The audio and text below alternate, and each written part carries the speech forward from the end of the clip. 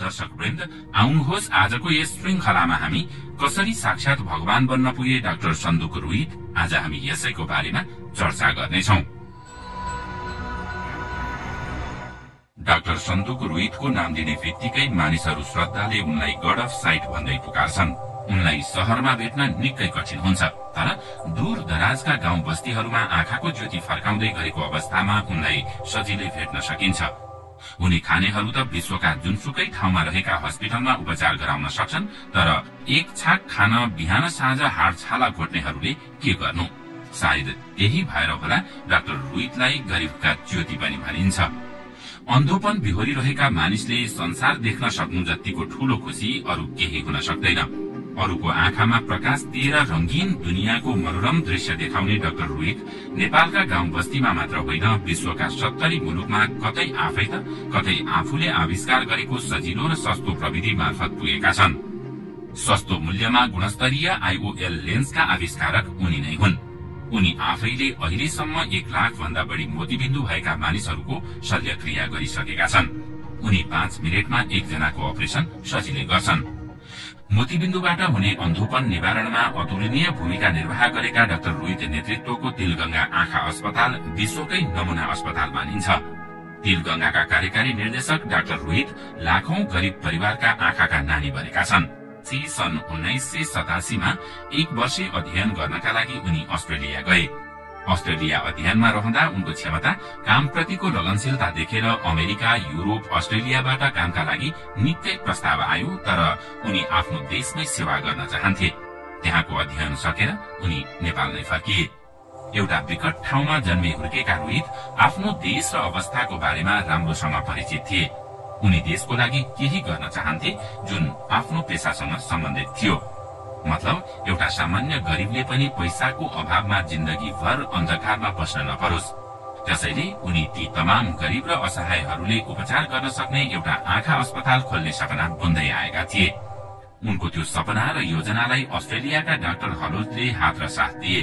अस्पताल बनाउनका लागि अस्ट्रेलिया स्थित फ्रेड हलोज फाउन्डेशन नेपालका समाजसेवी तथा साहित्यकार जगदीश घिमिरे कलाकार मदन कृष्ण श्रेष्ठ हरिवंश आचार्य उद्यमी रविन्द्र श्रेष्ठ सहिरित घिमिरे उद्योगपति दिवाकर गोल्छा सगरमाथा आरोही शम्भु तामाङ र डाक्टर रिता गुरूङ लगायतले डाक्टर रोहितलाई बलियो साथ दिए। साथ पाएपछि उन्नाइस सय चौरानब्बेमा डाक्टर रोहितले तिलगंगा आँखा केन्द्र स्थापना गरे जुन अहिले मानव संसाधन तालिम केन्द्र बनेको छ। त्यसो त यस हस्पिटलको उनी कार्यकारी निर्देशक पनि हुन्। उनले नेपालका गाउँ बस्ती पुगेर मात्र होइन अमेरिका उत्तर कोरिया लगायतका देशका जनताको आँखाको ज्योति समेत फर्काएका छन्। त्यसैले उनलाई गड अफ साइट पनि भनिन्छ। मोतीबिन्दुका कारण आँखाको ज्योति गुमाएका मानिसका लागि सस्तोमा लेन्स अर्थात इन्ट्रा इक्युलर लेन्स आईओएल उपलब्ध गराएर ज्योति फर्काउने कार्यमा दिनरात लागेर सफल भएका डाक्टर रोहित अहिले विश्वभर प्रख्यात छन्। विश्वभर प्रसिद्धि कमाएसँगै उनी विभिन्न अवार्डबाट समेत सम्मानित भएका छन्।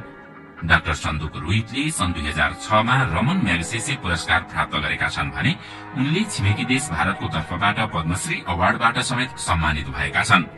थाइल्याण्डको सबैभन्दा सम्मानित prince Mahidol award Albert Einstein फाउन्डेशनले प्रदान गर्ने global visionary award world economic फोरमले दिने सोशल इन्टरप्रेनरसिप अवार्ड भूटानको नेशनल अवार्ड लगायत हालसालै उनले विश्वकै प्रतिष्ठित ईसा अवार्ड समेत प्राप्त गरेका छन् जुन बहराइनका पूर्व राजा शेख ईसा बिन सलमान अफ खालिफाका नाममा स्थापित अवार्ड हो। यी त केही प्रतिष्ठित अवार्ड मात्र हुन् उनले राष्ट्रिय र अन्तर्राष्ट्रिय स्तरमा प्राप्त गरेका अन्य अवार्डहरू अझ धेरै छन्। उनले विकास गरेको चिकित्सा पद्धति रुइटेक्टोमी अहिले विश्वका धेरै मुलुकले अपनाउन थालेका छन्। फलेको वृक्षको हाँगो निहुरिन्छ निरन्तर भने झै रुइत पनि सरल असल र कर्ममा विश्वास राख्ने जनताको आँखाको नानी बनेका छन्। उनलाई भेट्ने जो कोही उनको व्यवहारबाट छिनभरमा प्रभावित हुन्छन्। मोतीबिन्दुका एक लाख भन्दा बढ़ी बिरामीको आँखाको ज्योति फर्काएका वरिष्ठ रोग विशेषज्ञ डाक्टर सन्दुक रोहितलाई शहरमा भन्दा दूर दराजमा रहेका जनताको सेवा गर्नुमा आनन्द आउँछ। सबैजसो कुरामा परनिर्भर देखिने नेपालले बेलायत अस्ट्रेलिया क्यानाडादेखि विकासशील एसिया अफ्रिका एवं अन्य महादेशका चालिस लाख भन्दा बढ़ी नागरिकलाई नेपालमै निर्मित आईओएल लेन्सले उज्यालो संसार दिन भूमिका खेल्नु आफैमा गर्वको कुरा हो। सन् उन्नाइस सय सन्तानब्बेदेखि लेन्स उत्पादन गर्न थालेको तेलगंगाले यस बीचमा बयालिस लाख भन्दा बढ़ी लेन्स उत्पादन गरिसकेको छ।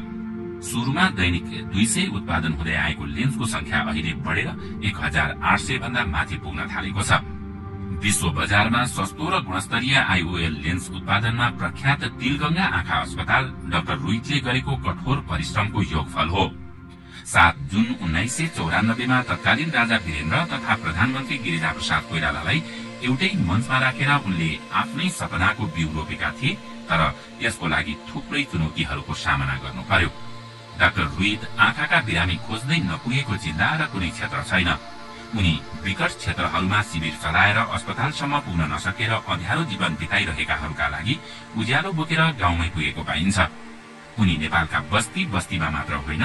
एसिया अफ्रिका म्यानमार इण्डोनेसिया उत्तर कोरिया चीन भियतनाम तथा ल्याटिन अमेरिका लगायतका देशहरूमा समेत आँखाका बिरामी खोज्दै हिँड्छन्। अन्धोपन बेहोरिरहेका मानिसले संसार देख्न सक्नु जतिको ठूलो खुशी अरू केही हुन सक्दैन। त्यसो त उनी भन्छन् अरूको आँखामा प्रकाश दिएर रंगीन दुनियाँको मनोरम दृश्य देखाउन पाउनु मेरो लागि जीवनकै सबैभन्दा खुशीको क्षण हो।